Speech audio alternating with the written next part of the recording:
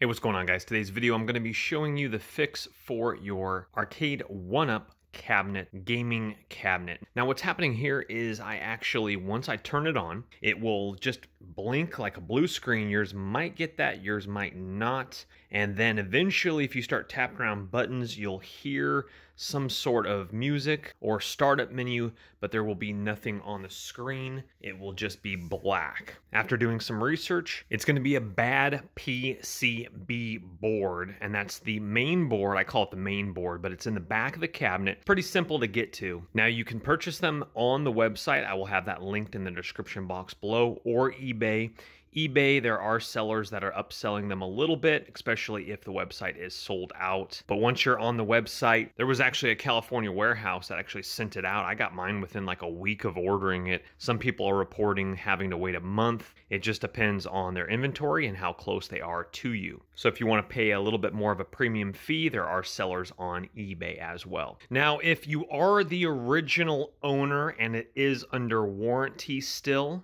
then get a hold of them, open up a ticket on their website stating that. They're going to make you prove that you did purchase it. So if you still have your receipt or proof of purchase, they'll be able to send you a new one for free. I unfortunately am the second owner of this, so it does not apply to me. So I had to purchase one through their website. But if you are the original owner, again, get a hold of them. Let's go around to the back of the cabinet and let me show you the access points. So we have the back of the cabinet off. Very simple. There are just some screws there at the top portion of the cabinet. Just watch your power cord though. That is also connected right here by a plug. You can unplug that if you want. And ignore this. I just went a couple extra steps. I actually have to put that back in. I was looking at the screen. But this board here will be mounted up here. There are two screws right here. And then the cord's just cord management in. But what you want to do is you want to flip it around to this right here here. This is the bad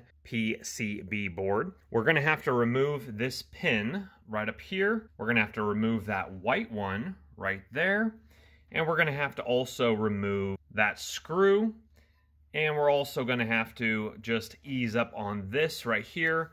And then this obviously just unplugs from the power cord right there. And these are pretty easy to get up. You're just going to inch them up. Just don't yank at them, but go ahead and just pull them up. This one, as you can see there, the little lip of that. Go ahead and pull that cord up. Unscrew this black one here, and this black one in the back should just ease up and pry up as well. Just don't yank. You don't want to loosen any of those cords there, but just pinch it with your fingers and pull that up. Now with the old one out, we did of course remove that little screw up there as well. Now you have one more screw, two more screws, and three more screws down here in the corner. That will release the board from the metal housing here, and then you want to grab your new one and put it all back together the exact same way. Ribbon cables, the black wire up there in the top left corner again. Now when you put everything back together, there is my screw attached up top. Make sure your red wires over here on the left side, your blues on the right side, your black wire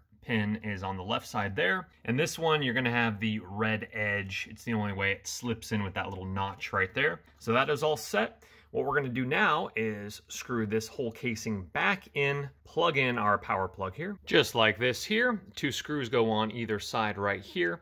Now let's go ahead and put the back of the cabinet back on, fire it up, and let's fire it up. On button there. Nice. Absolutely awesome. Okay. Well, thank you very much for watching the video. Hopefully it has helped you get your cabinet back up and running. Again, this is Street Fighter, but this works with every single cabinet. It's the PCB board issue. Some of you guys might not even experience sound. Some of you guys might experience it turning on and then turning off with sound staying on. Some of you guys might fire it up and there just be a blue spark or nothing at all, maybe no sound. Give this a shot. You'll be back up and running. And believe it or not, I actually found this in a wealthy neighborhood right here. No joke. And obviously they got rid of it and put it out next to the dumpster because of this issue. I took it home and I was like, sweet, awesome. And then found out that obviously there was an issue with it. That's why they obviously got rid of it. But for literally, I think I paid about maybe 40 $42 out the door, free shipping. After some little bit of tax on the board, I have my cabinet back up and running, or I should say, somebody else's cabinet back up and running that I received for free. If you guys want to see those videos and actually seeing me find this, that channel will always be linked in the description box below. And with that said, also, I want to insert in the top link in the description box below my course for my other channel where I find inventory and how to resell it will be in the top link of the description box below. Hit that thumbs up and subscribe on your way out. I will see you guys on the next video. My name's Chris. Take care for now. Bye-bye. Don't let the party stop, guys. Hit one of these videos, continue to watch, we'll see you soon.